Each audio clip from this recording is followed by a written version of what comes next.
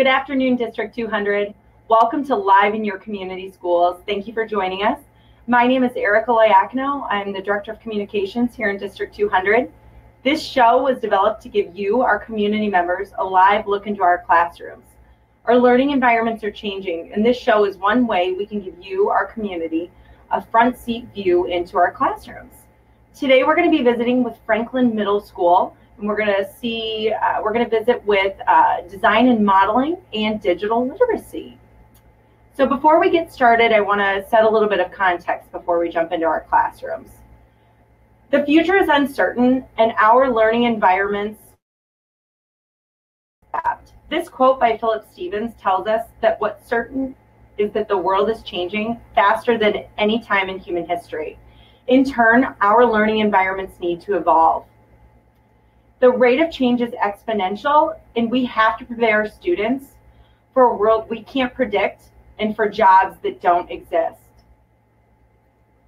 Students in our schools are in Generation Z.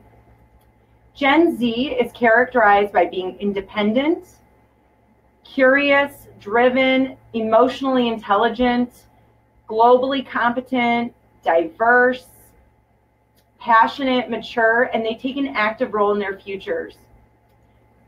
Gen Z has lived their entire lives with instant access to mountains of information. As a result, classroom change has happened. Today, we're going to learn more about how we are uniquely updating our science curriculum and offering some non-traditional courses. Science, a high quality science education means that students will develop an in-depth understanding of science content and develop skills like communication, collaboration, inquiry, problem solving, and flexibility that will serve them throughout their educational and professional lives and beyond. For the past few years, we've been implement, implementing science curriculum through Project Lead the Way. We believe all students should have access to real world learning experiences that allow them to gain the skills they need to thrive in college, career, and beyond. And through PLTW, students develop in demand transportable skills. To show you firsthand what students are doing in a Project Lead the Way class, we are going to welcome uh, Mrs. Hoffmeyer's design and modeling uh, classroom at Franklin Middle School in to show you a little bit more about what students are learning in Project Lead the Way. So let me just get Mrs. Hoffmeyer added. Welcome, Mrs. Hoffmeyer. Hi, Erica. Welcome. Thanks for having us. I know the class would like to say hi to you and everybody out there. Hi.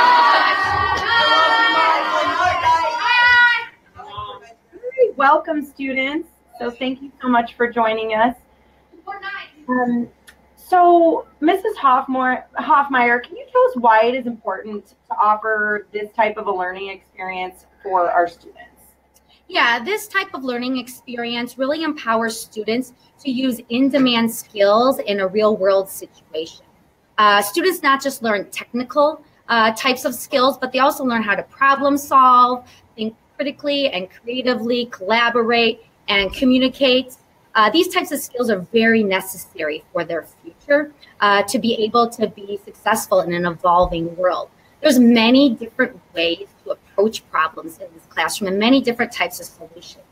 I feel like one of the biggest pieces that they take away from this class um, is to be able to handle group situations with the frustrations and the disagreements that they might actually encounter even in the real world.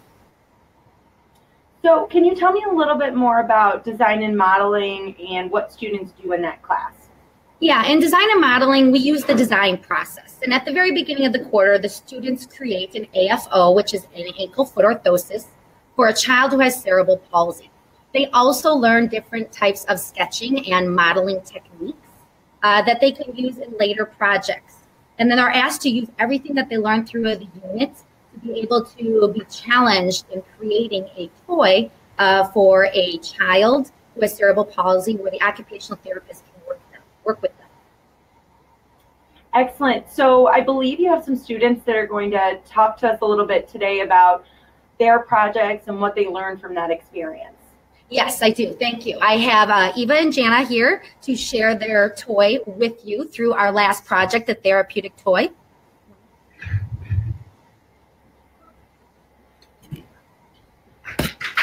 Welcome, Jana. Welcome, Eva. Thank you for joining us today. Hi. Um, so we made a toy for children with CP, and uh, it's a fun toy that they can use during therapy. And so it's the age range of the children that can play with this is three to five years old, and it's made especially for kids with CP, but any child can use it to play with to play with it if in the age of in the age range of so it's this is a prototype and it's based on a reward system and therapists can reward the child with something that they find very fun. So how you would use it is you would demonstrate you have the top here and you have a switch here and a lever here. So when you would, for example, pull the lever, the top opens and you can reach in and grab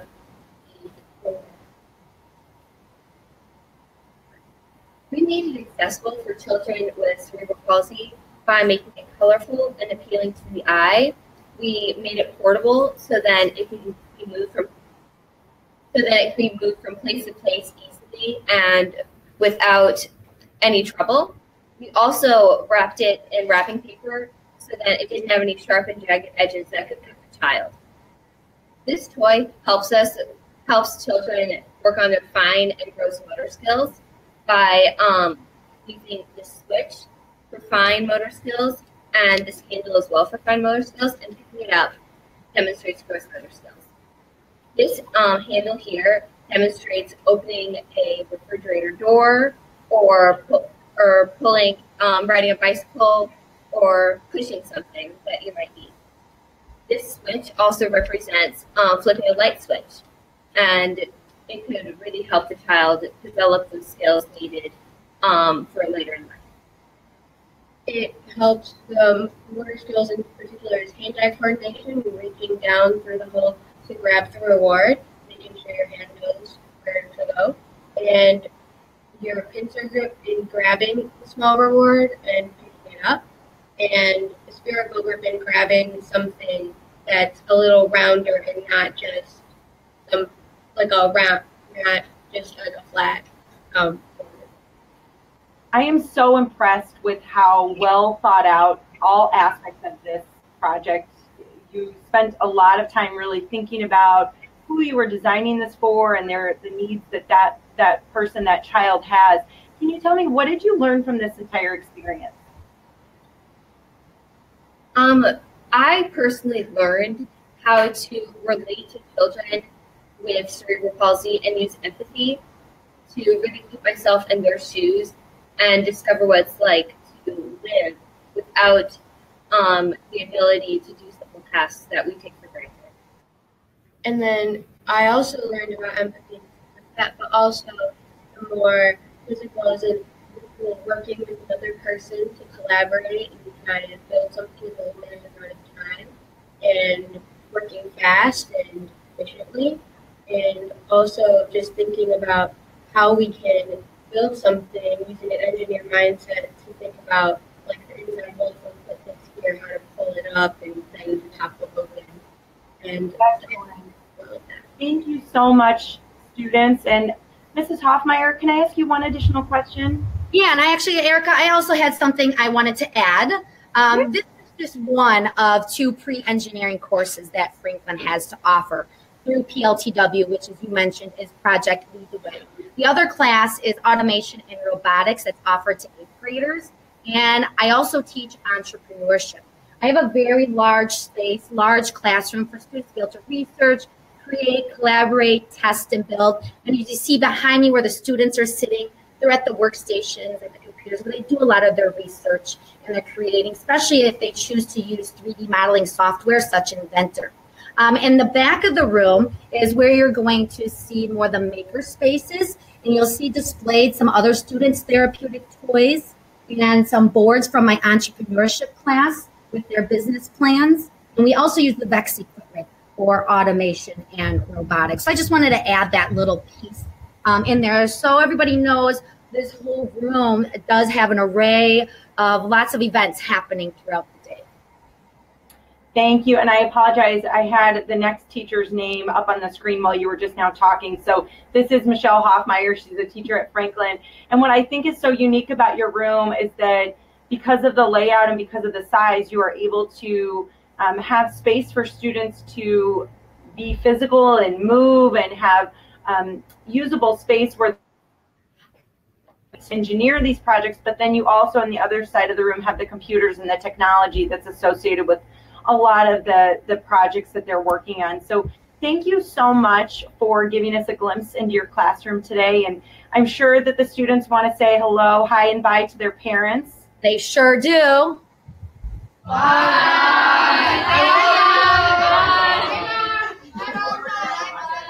Bye. Thank you very much for having us. Thank you, Jana. Thank you, Eva. And welcome back. And now we're actually going to add Mrs. Hammer into the broadcast. Uh, Mrs. Hammer is a seventh grade teacher at Franklin Middle School. She teaches design, uh, I'm sorry, digital literacy. Um, and students just finished up a unit in digital citizenship. And so Mrs. Hammer is going to tell us more about that. Welcome to the show, Mrs. Hammer. Hi, Erica. Thanks so much for having us. So before we get started in talking about your digital citizenship class uh, unit that your students just completed, can I'm looking in your room and I see a lot of colors. I see a really interesting layout. Can you talk to me about your classroom and how you? Uh, sure. Yeah. When I uh, moved into this classroom, I wanted to make sure that I made it conducive to 21st century learning. So the first thing I did was I uh, convinced my husband to build me some tables. So you see these orange peninsulas behind me. Um, he built me six stations where the kids collaborate. Um, and that's where most of the kids are sitting now. Um, I was also very fortunate. I was awarded a Student Excellence Foundation grant that allowed me to also equip each of the collaboration stations with a large screen monitor and a wireless keyboard and a wireless mouse. And this was perfect because in a 21st century learning environment, you really need to be able to, the students need to be able to collaborate and they need to be able to create and communicate. And so these, each of these peninsulas and collaboration stations are working perfectly for that. Um, and then the other thing that I did was I just kind of spent some time at garage sales, scrounging up some furniture I could repurpose uh, for the classroom. And this, it was important just to have stuff be flexible and lightweight so it could be moved around easily and repurposed throughout the year for whatever we needed it for. Um, I also, oh, go ahead. Why is why are your furniture choices? Why is classroom furniture so important it, to the student learning experience? Okay, yeah, it it's important because when the kids come into this classroom, they there's no assigned seat. There's um, I don't tell them where where to sit or who they sit with, so they get a lot of opportunity for student voice and choice. And that's really important in education today because there's a lot of research out there that shows that students, when they're given opportunities to choose and make choices and have their voice be heard, that they buy into what they're doing in the classroom a lot more. They're more engaged, they work harder, and it has proven to be very true in this classroom as well. Um, it also, the, the other benefit is it gives them an opportunity to practice some important SEL skills that we really uh, believe in here at, at Franklin and that is they can work on their self-awareness because they need to be aware of where they're going to work best. They can't just come in and sit with friends. They really need to think about, okay, where am I going to get the most accomplished? Where's going to be the best place to be based on what I can do today? Um, Wonderful. So uh, today we're going to hear from some of your students who just finished up their unit on digital citizenship and um, they were asked to select a topic and create a public service announcement uh, about that topic they selected. And I think we're going to hear that public service announcement today. We're joined by Clara, Anya, Maddie, and Ava. Welcome to the show, Franklin students. Hi.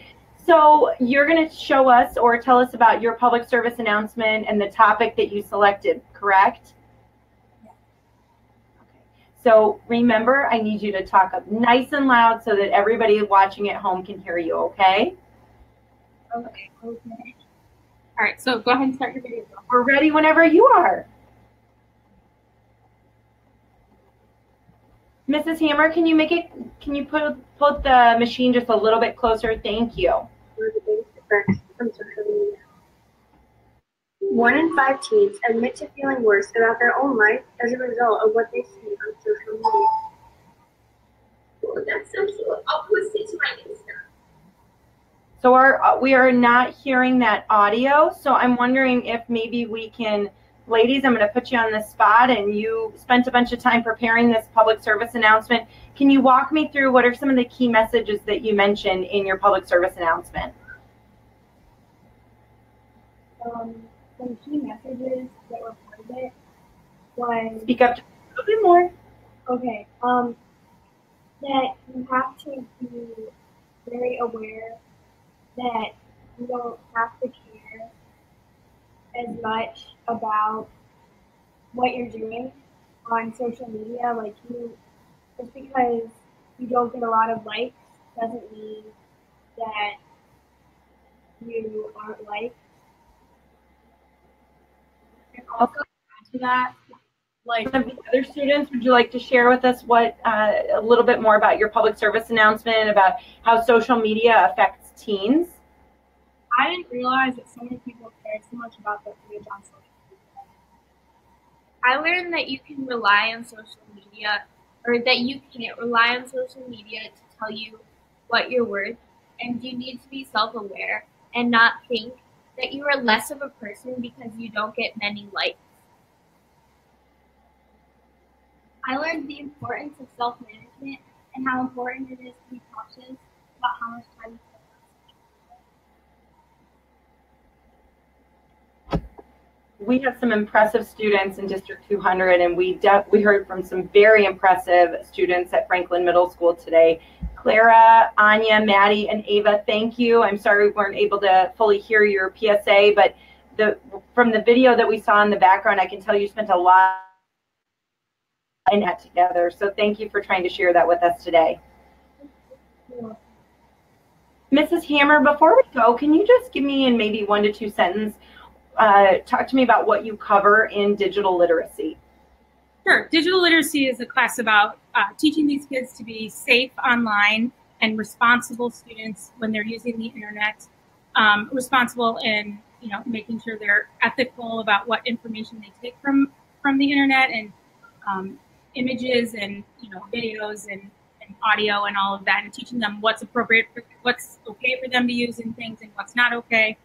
Um, they also we also talk a lot about digital footprints and how everything that you do online is there forever. And so we're just trying to make them aware, self-aware of what's uh, what can happen based on what they do online, and that it's kind of a permanent thing. Absolutely. Well, thank you so much for joining us today. I'm sure the students in your room want to wave hello to their parents.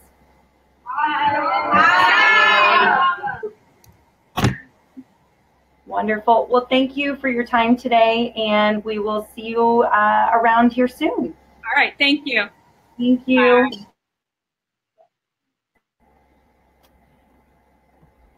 Well, that's it for today's episode of Live in Your Community Schools. I hope that you were able to see today that uh, our classrooms have changed and they continue to evolve uh, as we prepare students for that future that we really cannot predict. But what I hope that you take away from this today is that our courses are relevant, they are research based, and that our teachers are being very intentional with uh, what they're teaching our students and the skills that they're intending to develop in them. So thank you so much for joining us today for Live in Your Community Schools. Uh, join us hopefully later this month. We'd love to get a couple more episodes in before the school year is up. It is hard to believe it is April and the school year is almost over. Uh, but hopefully you'll join us again for another episode of Live in Your Community Schools. Have a great day.